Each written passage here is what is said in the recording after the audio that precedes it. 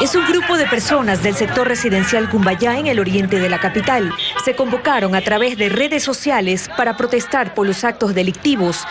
En mi domicilio le asaltaron a mi hija a las 8 de la noche. El momento que va a cerrar el portón, le asaltan con una pistola apuntándole en la cabeza. Los asaltos también se dan en los exteriores de reconocidos centros comerciales y sobre todo en los semáforos. Me siento acosada cada vez que paro en un semáforo. Tengo terror por mis hijos, por mis nietos, porque hemos sido asaltados, agredidos. Y en el semáforo siguiente, la tejedora creo que es, ¿no? Eh, ahí subimos un asalto. Eh, me dijo, este, te voy a matar. La, la reacción fue echarme para atrás y en ese rato entró y empuñó el teléfono de mi esposa y se fue, salió corriendo.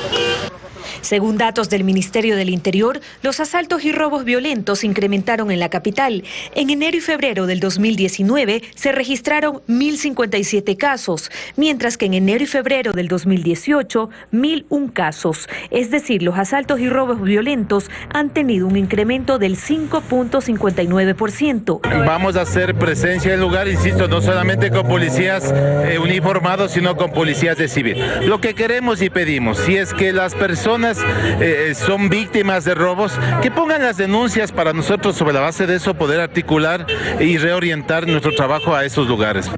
La Dirección Nacional de la Policía Judicial e Investigaciones desarticuló una organización delictiva que se dedicaba a amedrentar a los conductores en los semáforos para luego asaltarlos. Los detenidos fueron identificados por quienes habitan en el sector del Valle de Cumbayá.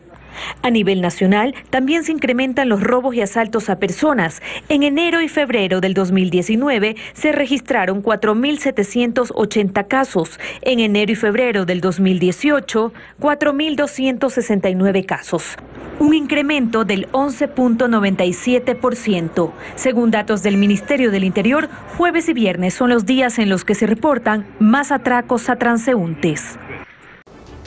Para continuar informado, suscríbete y no te pierdas los detalles del acontecer nacional e internacional.